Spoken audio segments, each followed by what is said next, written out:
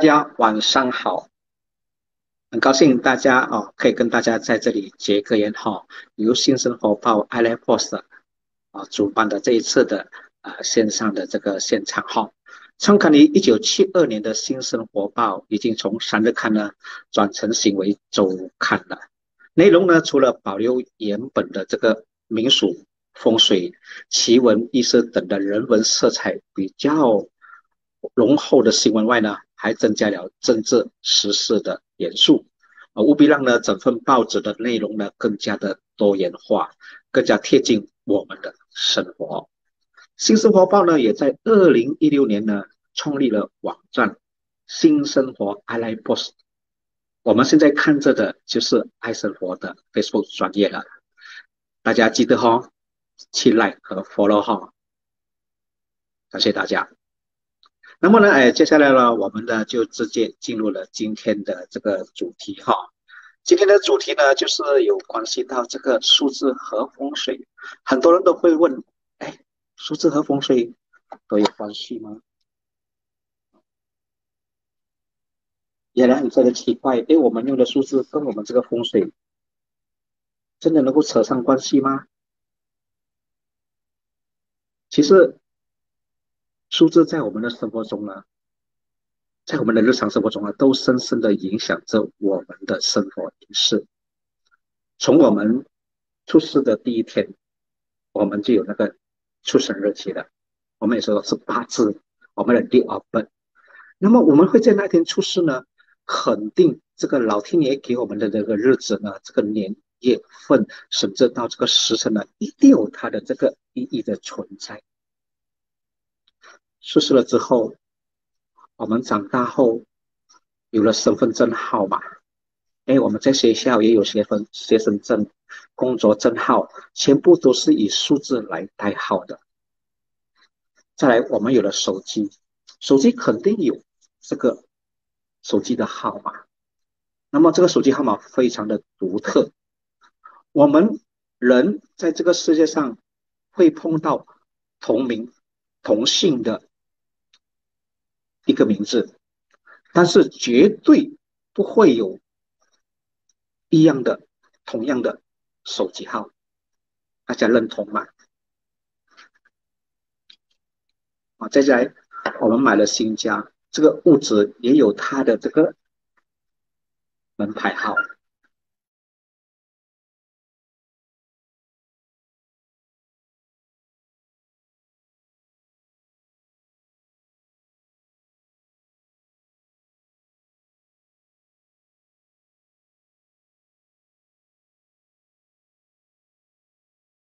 脱离不了关系。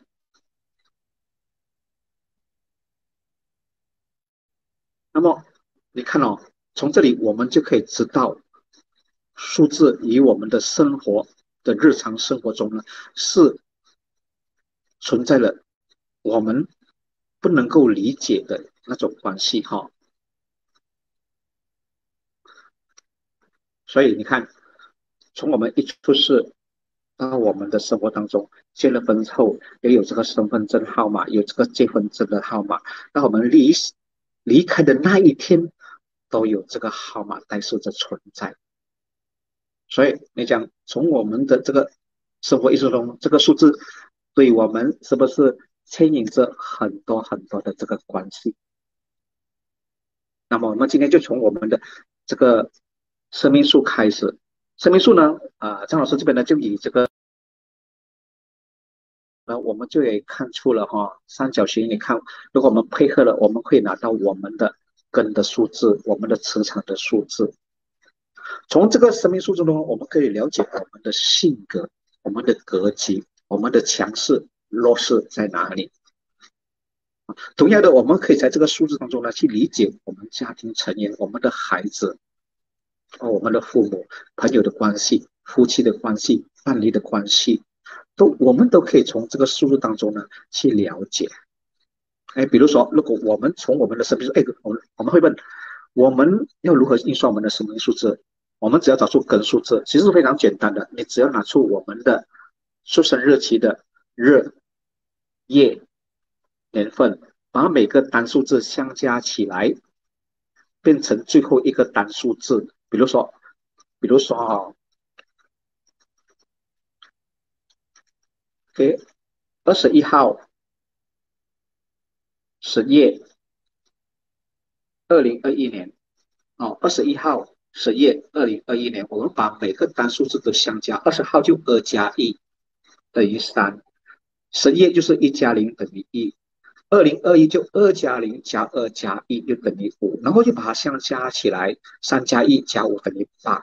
如果加出来有两位数字的话呢，我们就把它再相加变成单数字。那么这个单数字呢，就是我们生命数字中的根数。这个根数呢，哎，影响着我们的这个生活的我们的性格。如果我们能够了解自己，我们才能够了解别人。生命数是非常容易学习的，它不同啊一下一些呃时下的时啊数数，比如说紫微啊、八字啊，我们需要很多的精神跟时间去学习。生命数，如果我们用心去学习的话呢，一般上没有一两个月时间呢，我们就能够掌握的相当不错的这个火候了啊。那么，如果大家有相加自己的数字的话呢？啊，张老师就简单的从一解到解释到九，我们的这个生命数的格局哈。比如说，我们相加出来，我们的根数是一号的话，一号就代表领导，嘿，领导。那么呢，这个领导呢，其实是非常强的。那么可是因为领导关系，其实关系，那么他的朋友呢，可能就不多，他比较孤独，哎。那么一号人就是这样的启示哈。二号呢，二号就代表聆听。沟通。哈，二号像我们的耳朵的，它代表二，所以二号的人呢需要多面的聆听哈，不是他沟通不行，他要多聆听才来沟通。三号，三号是一个特别行动快的这个数字哈，三号你看哦，我们当我们去呃主办赛跑的时候，我们会 one two three go，就是一二三跑，所以这个三号属于行动派的。可是属于行动派的同时呢，他有他反面的一面，是因为他的脾气会比较的坏哈，会比较的耍性子，脾气来的比较不好，会比较急性啊。来到四号呢，哎，四号就代表这个人呢是比较稳定的，哎，四号代表一张作者有四个角，那么就代表他是需要稳定性的，也代表策划啊，代表文采。来到五号呢，五号呢还是在中间哈，那它左右都有数字，它在中间。那么这个五号呢，就代表目标了啊。可是五号的人呢，又非常的固执。可是固执同时呢，他又左右为难，因为他夹在中间啊。那么六号呢？六号是大家很喜欢的一个数字。六号就是财富。哎，谁不喜欢财富呢？所以六号就代表财富。生命中有六号的人呢，他的财富管理的一般会比别人来的比较强势，比较会有管理，才有道。哎，七号，哎，七号也是很多人非常喜爱的一个数字。七号代表贵人，可是很多人往往呃不能理解，其实七号呢有时呢往往是别人的贵人哈。那么八号呢？八号我们代表责任、压力。看到八号我们写的时候啊，他会跑回原位的，就说他会走回原点，所以他时常会呈现给自己的压力，因为他的责任感非常的强。最后呢，就是九号。九号呢，代表一到九嘛，它成功了，圆满了，所以九号也代表成功圆满。那么你了解你的生命数字了吗？当然，如果你要了解更深层的话，或者在以后的机会呢，我们可以更深入的共同研究其他格局的这个组合。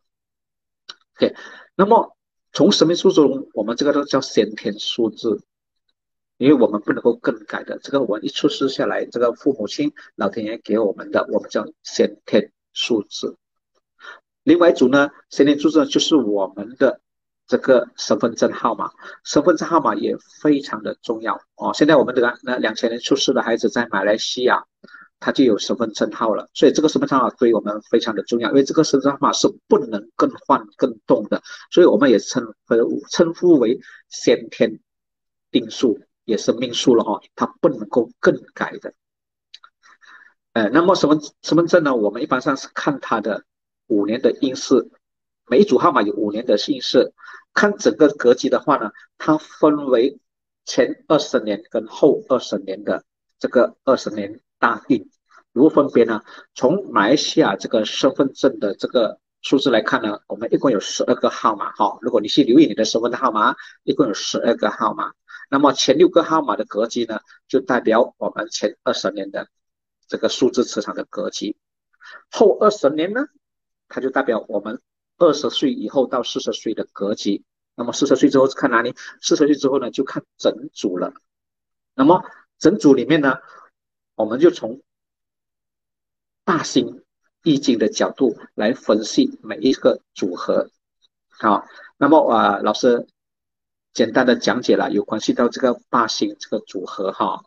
比如说，如果是有有有一三的、三一的，好，然后有这个六八八六的，大家可以做记录啊。七二二七的。四九九四的，就是天一数字，天一数字听也好听，也知道这个是吉祥的数字哈。接下来呢，就是生气的数字，生气的数字呢，啊，如果有上过这个课程的都知道，生气的数字呢，包括了十四、四十一，好，七十六、六十七、二十八、八十二、三十九。九十三，这个就是生气数字。生气数字不代表它是生气，它代表它是生气勃勃的数字。所以有这个组合的数字的人呢，他一般他是比较乐观、比较看得开的。好，生气之后呢，我们就是延年。哎，延年数字呢是就是关系到这个事业的。有延年数字的人，一般上他的事业性会比较强。那么延年的组合代表有什么数字呢？就是一九九一，啊，一十九啊，九十一。一九九十一，然后呢就是七十八、八十七，啊，三十四、四十三、二十六、六十二，这一类呢四个四个组合呢，就是关系到我们的这个事业组合的数字。再来呢就是福位，福位呢就是说平复不动的，这个是。啊，黑马的号码在等待机会的哈，福位它称为福位，福位呢就是两个数字呢是同类似的，就是一一二二三三四四五五六六七七八八九九，这个就是福位了，福位叫做等待等待机会。哎，再来我们就看该我们讲的就是比较吉的号码，当然有吉就必须有凶啊。那么凶呢有什么呢？凶呢我们就看一来呢就是五鬼哈，一听五鬼呢就知道不好了，五鬼呢有一八。八一七九九七，哈，然后三六六三二四四二这一类似的组合呢，大家可以特别的去留意，因为在张老师的很多个案当中呢，都是因为这个五轨数字的组合呢，影响了我们很多的生活当中的运势。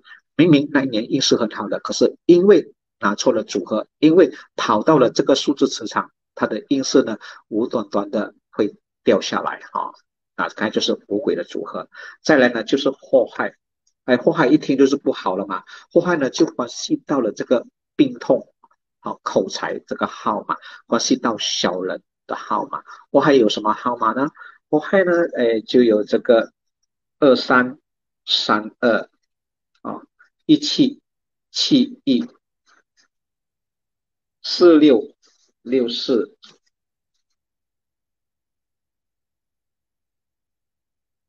九八八九，同样的，它一样有四个组合。啊，九八八九同一个组合来的，好，二三三二同一个组合，一七七同一个组合，四六六四同一个组合。那么我们可以了解到，如果我们的车牌有这一类似的组合呢，它的意外交通呢？会特别的多，或者呢，他的车呢会无缘无故的比较容易坏，都有这一类的情形。哎，再来我们再讲最后一组啊比较负面性的组合呢，就是绝命。哎，绝命就是这个人很拼搏的，很敢做的。如果他的车牌有这一类似呢，他就非常的是呃闯红灯的啊，然后呢容易这接到啊这个呃罚款的这个这个组合了啊。绝命呢有一二二一。三七七三四八八四九六六九哈，所以那个我们有这一类似的组合的绝命呢，我们的在这个交通的方面呢，要非常的注意哈，因为它不按这个规矩呢来啊使用这个车的哈。那么你看，如果张老师刚才讲的数字啊，如果在你的身份证号码里面呢，有这一类似的组合，比如说有比较负面的，你就要注意了；如果有祸害的话，你就要注意健康；有五鬼的话呢，它的变化会比较大，工作比较不稳定啊；有这个绝命的呢，很拼搏，都喜欢做投资，想赚快钱啊。这五鬼就是变化了。如果有天一生气延连的，一般上呢，它的倾向会比较好啊。然后我们讲完了这个呢，如果这个组合的数字在我们手机里面，对它就会影响很大的，因为手机对我们的影响非常的大。我们现在的人都大量的用这个手机，那么它的频率震动的时候呢，肯定会与我们身体的磁场呢产生一种互动的关系。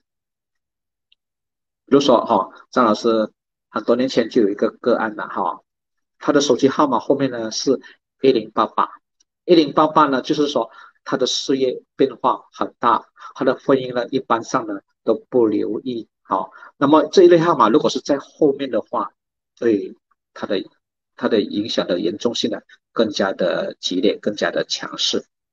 那么张老师这个个案呢，很多年前他也找到老师的时候呢，就是他面对他的人生最低谷的时候啊，然后慢慢的经过了解之后呢，就把这个手机号换了。他的运势也跟着起了，也因为这个手机号，哎，他跟老师、跟老跟张老师呢更加的接近，然后也邀请张老师呢过去他的这个呃他的家乡啊去调整他的风水哈，在东马的啊，在东马张老师也有很多故事在那边啊。那么从这个数字呢，他慢慢建立了他的事业，那么到今天呢，他的事业是非常的棒，哎，人缘贵人也慢慢的增加。啊，这个就是手机号对我们的影响哦。如果你们手机号后面有一八八一的、七九九七的、好一二二一的，一二二一代表你的开销非常的大啊，喜欢投资，它就会影响很大。再来，你看了，我们就从生命数字的角度来看，呃，就是说在在这个上个上个月吧，十三号、十一月哈，啊，新生活报呢就有登看了这个报纸。然后有关系到讲到这个生命数字的这个真实的这个个案哦，大家可以看到啊，它的前面有一个八二二二的哈，这个呢就是从他的这个小孩子呢的生命数来看呢，然后呢这个小孩子呢，这个呃他的父亲呢，呃来找张老师的时候呢，啊要起这个名字嘛，好就起这个名字，还没出现就找张老师的，叫做准备，说等他出世的那一天呢就配合。就就拿着这个日期，就配合好了这个名字，后把这个名字交给他的同时呢，哎，就跟他讲哈，这个小孩子呢要注意，他有这个黄疸病，黄疸病哦，哎，为什么会患了黄疸病呢？这个就是从他的八字还有他的生命数字里面看到的。当然，很多人都会问，那么同年同月同日出生的人，是否都一样会有黄疸病呢？哎，这个这个就不一定了，这个不一定了，只是当天的磁场呢，它的倾向会比较的强。那么很多人都会有疑问，不可能吧？那一天出生的都这么多。其实呢，从生命数呢是有一个比较高级的这个运算的方法哈。那么今天呢，张老师就在这里啊跟大家透露，原本呢啊这个。这个运算法呢，是张老师完全没有透露的，就在这里跟大家接个言哈。因为张老师知道在现场也有很多张老师的一些呃同学啊、学生啊，或者是一起研究这个数数的。那么很多人很奇怪，为什么张老师的这个生命数字呢，运算的方法呢，呃，跟别人不一样？那么他们也不知道是什么原因。那么今天在这里跟大家接个言，张老师透露这个生命数不为人知的秘密。哦，它的运算法非常的特别。很多人讲神秘数字少了时辰啊，它只是用年月日。那么同年同日的同日出生的人非常的多，不可能会有同样的运势，所以这个是正确的。可是我们的父母是不一样的，我们的父母的出生日期都是不一样的。你的父母，他的父母和我的父母出生的日期是不一样。那么，如何运算比较准确的，有关系到这个孩子的性格，尤其是健康方面。张老师一般上比较注意注重这个健康，哦，因为我们的健康很多是遗传性的。那么，谁遗传给我们，都是我们的父母吧？好，那么张老师就会拿这个爸爸的出生日期、妈妈的出生日期，把他们的出生日期跟这个孩子的这个出生日期相加在一起，那么整个三角形的这个宫格呢，整个三角形这个宫格呢，你就会看出了它特有的这个特殊的健康的状态了。好，那么从这里呢，张老师从他原本的格局就有这个倾向，再从他的父。母的这个生命数字吻合在一起的时候，一样有这个信息同步的存在。那么张老师就可以肯定的跟他讲，这个孩这个小孩子呢，他是先天先天呢出生的时候呢，会带有这一个黄疸病的这个症状。哎，开始这个这个父亲呢也不太相信嘛，因为小孩子出来的时候是非常的健康。哈，不可能吧？哎，可如果你们有看这个新闻，这个报纸《新生活报》的话呢，呃，你们就会注意到了哈，其实是应该是出事的第四、第五天吧，哎，这个孩子就黄疸病了，后来就毒素两百多，两百多，然后非常的，然后就非常严重，一下到四百就要进医院了。进医院之后呢，然后过了两三天还不能够呃把这个黄疸病的这个数字呢呃调下来，那么的这位爸爸就很紧张了，就。就直接在 WhatsApp，现在是都是用 WhatsApp 来见面。那那时候也是在 MCU 的时候，哦，就 WhatsApp 找找老师，哎，张老师就给他打方案。那么张老师其实也是从他的生命数字里面找出这个方案的，不是每个人都可以用，必须要你的生命数字找出这个方案。哦，哦，那这个生命数找出他的方案。好，如果了解生命数的人呢，都可以看出一些门短吧。哈。那么张老师就指点他了，在他的东方呢加一盏眼睛灯。那么这个就是从风水里面入手了，不可能从数字了，就配合风水里面入手了。这个就是生命数跟风水的关系。那么叫他安排一盏眼睛灯，要放三尺高左右，然后要二十四小时都开着的。那么那个时候还是在 MCU 的期间，哎，他这个。这个爸爸也相信哈，他就马上去联络这个卖眼镜的老板。可能那时已经我听之后，我是过了好多个月，他来呃答谢张老师的时候呢，才知道的。他就是在那个情形之下呢，就联络了那个老板，然后呢就去八点晚到八七八点，那个老板在等他的，就把这个眼镜灯交给他。那个价钱还蛮贵的，因为是最后的最后的这个呃关店的时间他才跟他拿的。他拿之后就马上在他家安排，就是在这个东方里面安排了这个。眼镜灯，那么很奇怪哦。当天晚上，第二天，这个这个小小婴儿的这个他的这个黄疸的这个毒素呢就降下来了，啊，没几天他就出院了。啊，这个是其实这个事故张老师也忘记了，是他在多个月之后来找张老师喝茶的时候、吃饭的时候呢，才透露这个消息的，也非常感恩他愿意分享这个信息给张老师，让张老师知道我们做的是正确的哈。所以你看，生命树。及这个风水其实都有它的牵涉的关系在里面。我们一样能够在生命树里面看出你家中的某种某种的这个风水的布局对你不利的，一样的可以。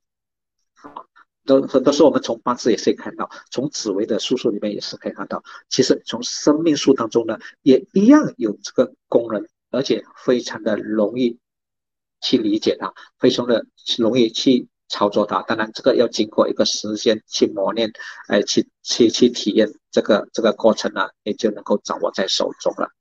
啊，你看这个就是生命树跟风水这个关系。啊，那么你看到我们风水，其实我们风水，我们然后从易经，我们有先天数、后天数，其实都是用数字来讲解一些有关系到我们的风水的这个关系。哎，尤其是用奇门，奇门你看他在做这个奇门阵法的时候，哦，他需要到这个用这个数字的量来去操作他的这个阵势。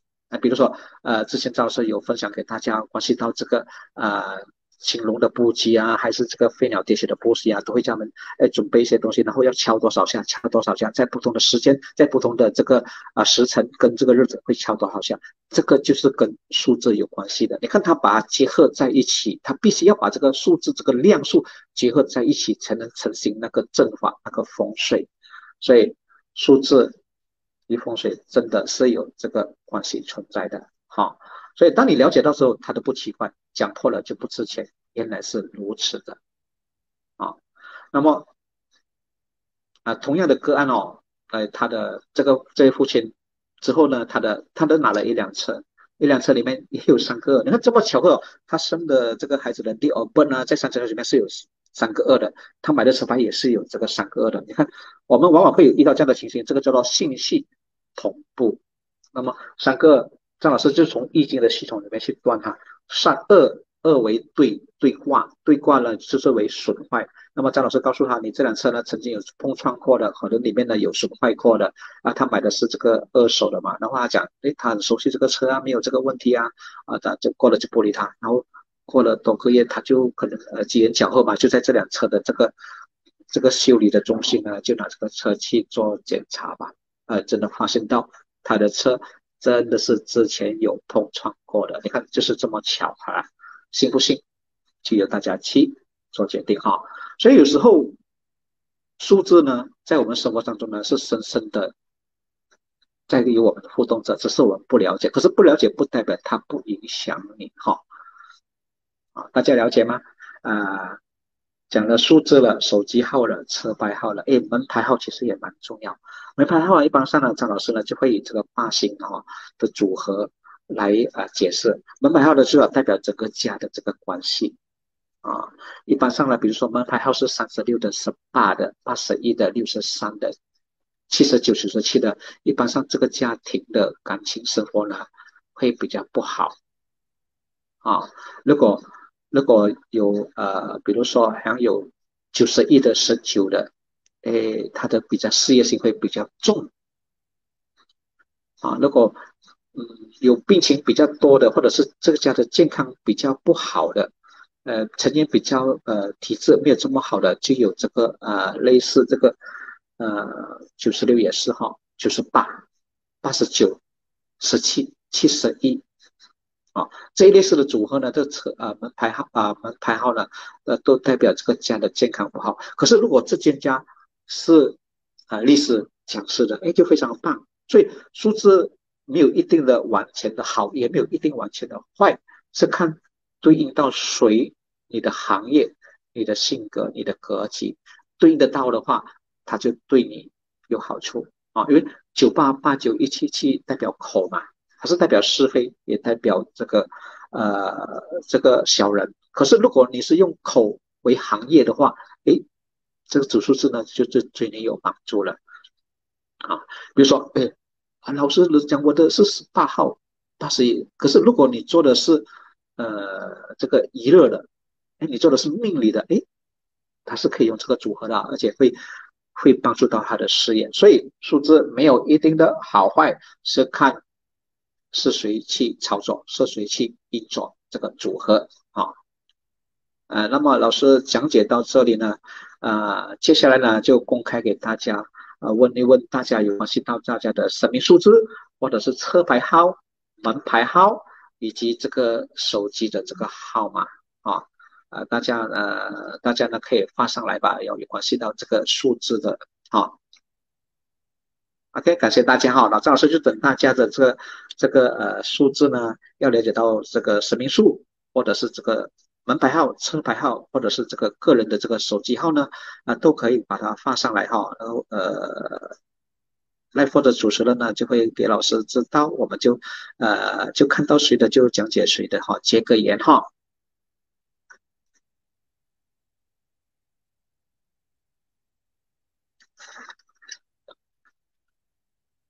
有吗？等着大家的这个互动哈，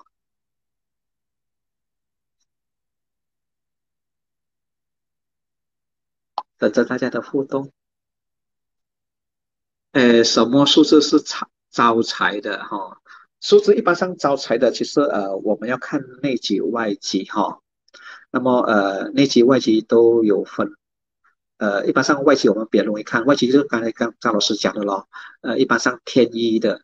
跟生气的数字呢会比较招财，可是这个只是偏向，呃一般哈，然后要更深入的，我们就要从这个易经这个卦爻的相数呢去解读这个组合啊，因为招财组合我们要看，比如说一三三一的，也会比较吉祥，还比较招财的，它叫财富嘛，天一叫做财富啊，六八八六的，哎，我们都很喜欢用。对，这组组合呢是比较容易的，呃，是属于这招财的这个组合。可是你的配合前后的数字，它必须要配合的对，然后它的内在的这个呃组合呢，就叫呃文鹤啊，文鹤到它的这个组合呢，它就非常的这个啊，非常的棒了，在这个招财这方面哈。呃，车牌八九五九哈，八九五九我们就看咯，八九五九呢，呃，就是说它是主这个口才的啊。如果这位施主呢，如果你是从从事啊教师、讲师、律师的话，八九五九呢就不错咯。如果不是的话呢，一般上呢，可能你一上这辆车呢，就是讲话讲讲讲讲个不停，因为他主口啊，那可能比如脾气会比较不好。哦，比较容易有争执哈，八九一路讲讲个不停。那么从这个数字里面跟我们的风水有什么关系哈？你可以去验证哈，改一改改那一位呃那一位小姐哈，八九五九哈。那么呢，你可以去看哈，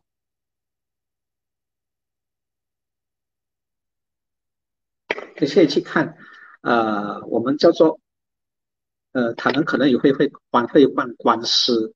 会犯官司是会的问题，那么要如何去验证呢？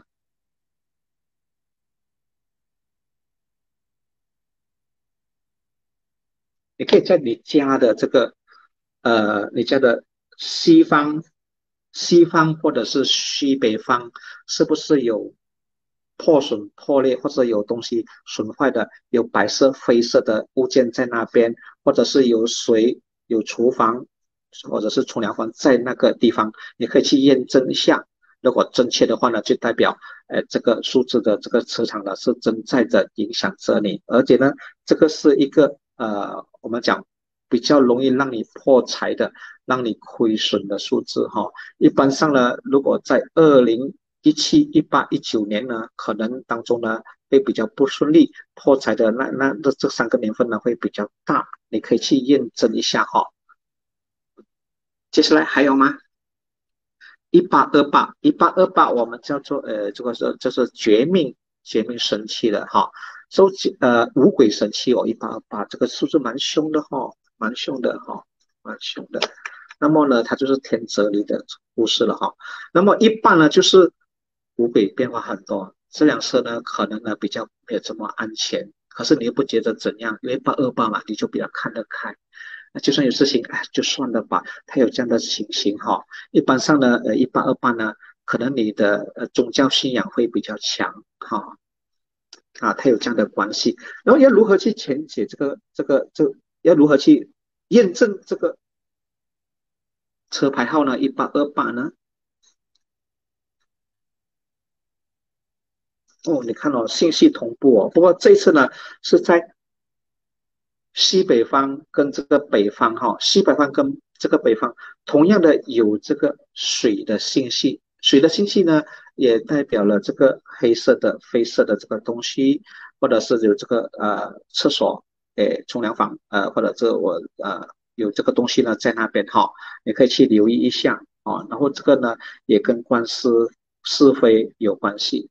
不过自己觉得没关系，会放得开，会安慰自己哈。这个就是一八二八所呈现的这个能量磁场的这个呃呃解读哈。门牌号二二三哦，这个是凤玲哈，凤玲小姐哈。二二三呢，就代表这个呃，我们讲福未祸害，呃，这个呢就对本身的这个呃比较多事情哈，比较多事情。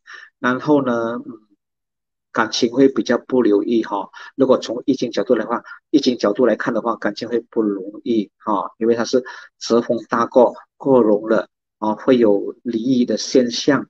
如果之前住的不好，再住回这间家，还是会发生比较不好的哈。而且要注意健康，除非你是从事这个呃保健的行业，嗯，它就不错，它还好。如果你是从事这个，口才这方面的，嗯，还不错，要不然他就会呈现比较负面的东西的，是非口角啊，家里争执比较多啊，哎，大家的呃话题呢都不能够融洽啊，都会有这样的情形啊。还有吗？还有别的数字吗？应该还有时间哈。二十七号 SK，呃，通常影响家人的哪方面的问题哈？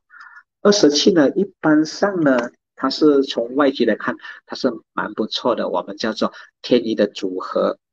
那么这个是小天一吧？哦，每个呃发型数字呢也有分啊高级的、中级的、低级的这个能量。那么二十七呢是比较低的这个天一的这个能量哈。那么这个组合对呃家庭的人事这方面呢，它就我们叫做呃折三弦吧哈。那么这个卦呢，这些家人可能会有一些成员是比较有灵感的、灵感的哈。那么对家庭的关系呢，家庭观念要互相的了解、谅谅解哈，因为他互动的关系呢会很敏感，所以大家讲的话题呢都要很小心啊，这个要去注意咯。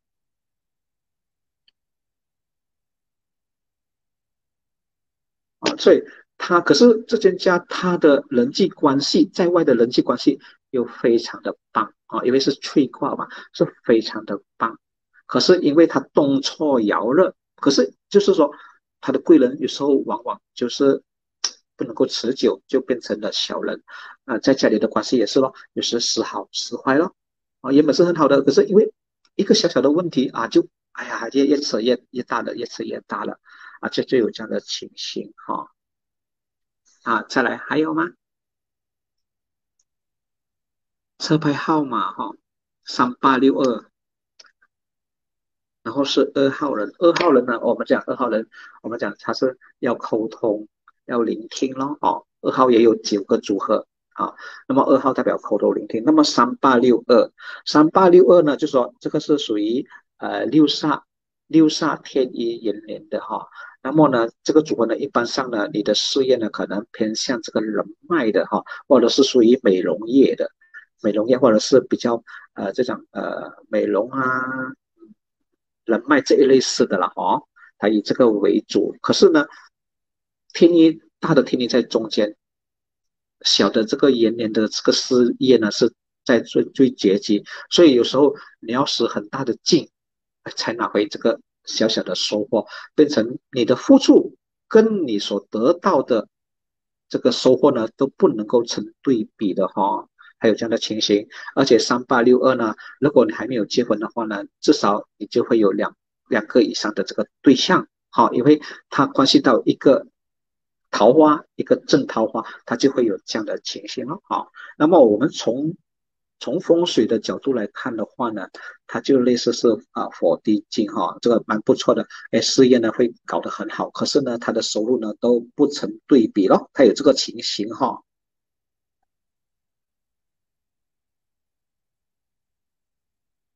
哦，那么火可是还有动错爻了，动错爻了，就也就是说你的事业曾经有在某个时间呢，这个事业呢呃跑入了。最低端可能垮了，变成你还要再重新开始，它就有这样的情形哈，因为它动错爻了，动错爻了就比较不好了哈，那它的卦象也比较不好，这个要非常时去留意哈。还有吗？门牌号一号哦，一号一号就是说一嘛代表一为乾卦。好，为乾卦，这个一号的蛮不错的，一号蛮不错的。可是呢，这个乾卦我们要注意哦，这个乾卦，如果你的家，你的家前面如果是向西北方的，或者是向西方的，它就蛮不错。好，如果它是向南方的，哎，就要去注意了。在向南方的话，就要去注意了，可能它就会，呃，就会纳到不同的这个气的哈。如果家里是有安这个。神的话呢，只要注意这个神台纳气的这个位置非常的重要。一般上呢，这个一号的人呢，呃，因为一号说代表你的家是可能就是边角物了，所以他在纳气方面你要非常注意的哈。如果这个神台位纳的气不对的话呢，啊就不行了。因为南方如果你面向南方的话，左边就是东南，哦，然后这边就是西南，所以如果神台位的布置的地。啊，方位不对的话呢，它就会拿错气，就会影响整间家的这个风水这个关系了哈。啊，这个一号的要非常去注意哈。门牌号六十七，电话号码是一二三三啊，因为没有呃电话号码，如果我们看整组的话呢，会来的比较详细。后面四个字也是可以哈，一二三三呢就代表这个绝命祸害会影响健康咯，健康会比较不好。可是你的门牌又是七号。你又你又觉得哎，我有方法了，我看得开了，这个健康我看得开了，没关系了，我就慢慢的去调理了。他有这样的情形了。那么六十七的话，如果问的是女士的话呢，她就要注意跟她家婆和她妈妈的关系，一般话会比较不好。虽然她是生气的磁场，可是六十七呢，在某种情形之下呢，她与我们的长辈，尤其是女性的，她的关系呢会比较这么啊，不会这么融洽了哈。那么你的嗯。手机号是一二三三，我们叫到绝命祸害，说你很敢讲，很多事情很敢讲，讲了才算，我要讲就讲，而且你要讲的东西呢，就是我不管时间地点的，哈，我要想我想到什么我就讲什么，啊，他有这样的情形，啊，那么这个我们从他的卦象来看的话呢，你在家可能你的厨房或者是你的客厅，它就一种水火冲的现象，你去留意一下哈，可能呃你家的厨房对面。可能是雪柜啊，可能是水猴啊，这种可能有一个地方是黑色的，一个地方是灰色的，对面呢是红色的、奥利色的、紫色的，它有这样的情形哈。啊，从这个数字呢，我们去看你家的风水呢，它就会有呈现啊这个同步信息的这个呃症状哈。当然，如果有这个水火冲的，我们必须要去解决咯啊。哎，九三零九哈，九三零九呢，我们叫做神奇的数字了哈。啊，一般上呢，呃。不管什么吉祥的数字呢，张老师都不鼓励大家呃使用零的哈，因为如果零用错的话呢，它的影响力就非常的大。比如说这个生气嘛，生气我们叫做贵人，九三为贵人，三零九变成贵人不见了，就说可能你之前跟你这个朋友跟这贵人关系很好的，可是久而久之的，哎，这个朋友这个贵人变成是你的敌人了，他就会呈现这样的情形。啊，那么呢，这个隐藏色原本是个是一个健康的数字，可是用的久的时候，它会影响到我们的健康，好，所以这个要非常的去注意哈。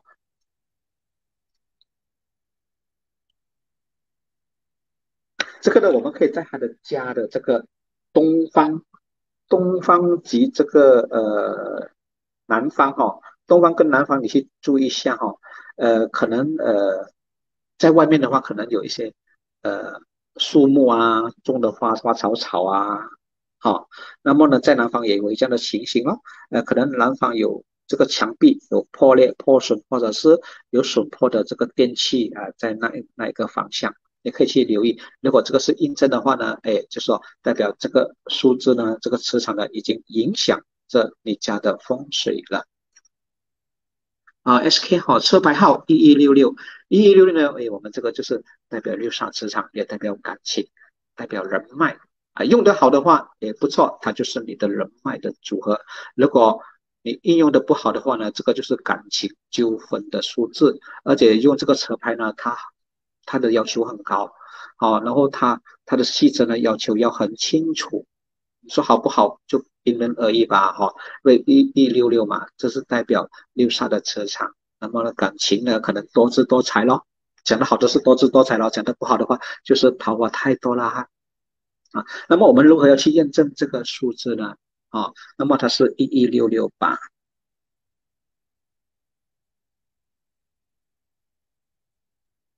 对的，那么这个呢，一般上他的感情都会比较不顺啊，然后左右。都有桃花啊！如果是还没结婚的话，就 OK 咯。如果是已经结婚的话，就要注意这方面的啊，不是说它一定会影响你。如果我们的心念够强的话，哎，我们的意念够强的话，就把这个桃花变成我们的贵人，也是可以的。那么，如何去验证这个组合的这个一一六六的这个磁场呢？我们可以看到，呃，在你家的这个西方。啊，对，只是西方还有东方哈，西方跟东方呢就会有这个呃白色、金色或者是啊利器啊、剪刀啊、刀子啊这一类似的东西，白色、银色的东西，或者是时钟有在这个西方或者是在东方这个位置。如果这个圆形的这个钟这个钟是圆形的，是在西方的话，哎，可以接受；如果是在东方的话呢，哎，最好就把它移开，移去西方或者西北方，对你家庭的这个运势呢会比较好。要不然，如果是已经结婚的话呢，呃，这个时钟如果从这个卦象来看呢，他就对长者比较不利。如果这一位呃车主，如果他的呃他是结婚了有孩子的话，那么就对他的。家的长者呢，就会影响到了，可能他的长者会比较难教，比较顽皮，诶，比较，嗯，比较不如呃不听话吧，哈，啊，比较有性格啊，就会这类似的情形。呃，Sky 啊，Sky Sky 的车牌号是五四七八。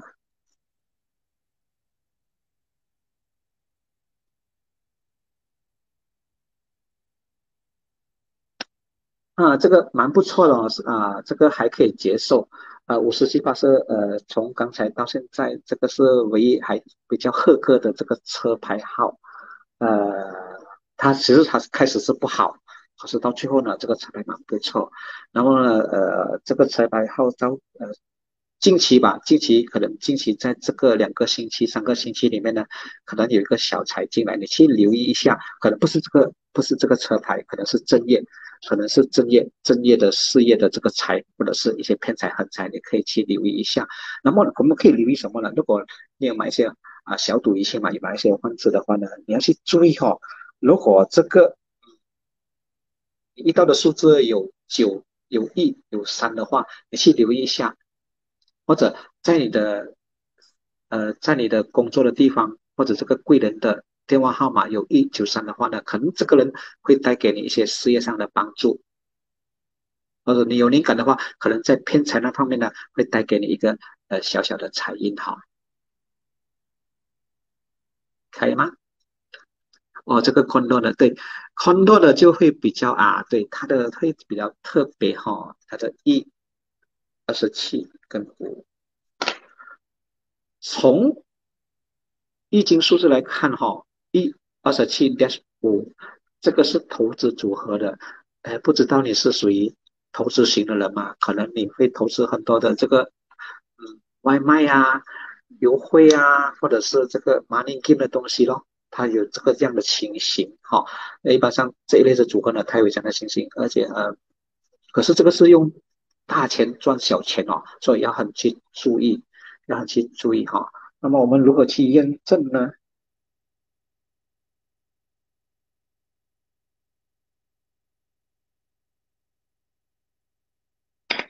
啊，你可以看哦，你家的这个南方跟东方，哎，可能有厨房，有厨房，有电器，有火的东西，有红的东西，哎，在这两个地方，东方和南方，啊，要不我们要看，呃，不是说一定好也一定坏，要看这个呃火的信息呢是哪一类似，如果它吻合的话就 OK 咯。如果是厨房的话，厨房如果是在南方的话，哎，就不适合了；如果是在东方的话，哎，不错。合格可以接受，所以有时候我们看你倾向哪一方面，我们就知道他要如何去解决这个方案了哈。如果是在南方的话，哎，就对家庭里面的成员的健康了要去注意的，会影响到第二的女儿，好，或者是会影响到小小女孩，她的眼睛啊，女性的疾病啊，都会有这样的这这样的这个问题咯。哦。所以你看数字和风水，其实虽然它我们看它是。完全是两件事情，可是当我们把它结合在一起的时候，其实它有息息相关的这个信息同步存在的。啊，还有吗？应该还有一些时间嘛，哈。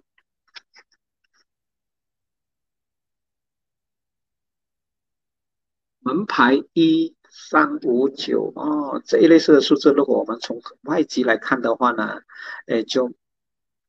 蛮不错，从外籍来看就蛮不错的。这个号码三五九，我们叫做呃贵人的数字哈。可是如果我们更深入来看的话，哎，他的贵人没有这么有力，呃，总是前面帮他，后面呢就就放手了，呃，就说贵人变成不是他的贵人啦啊，因为他是呃活水未济啊，就是不能够成事情哈。那么我们如何去验证这个数字呢？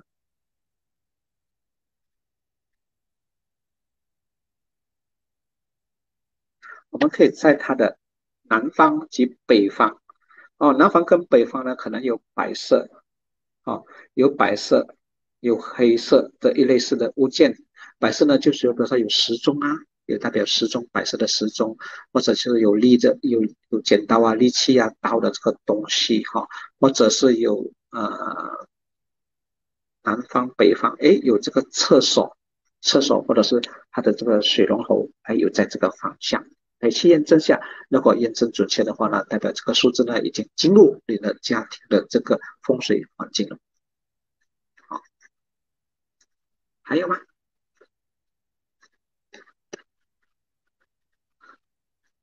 门牌号六七零向西北的哦，这个就比较详细的，向西北六七零，我们叫做呃也是贵人数字呢。今天你看信息同步来，诶来的就是这这个这个组合了，哦，那么。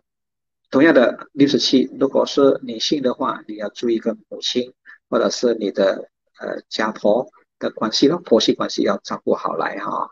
那么它向西北方的话，西北方如果它向西北方，不过因为是有零嘛，如果没有零的话呢，会比较好。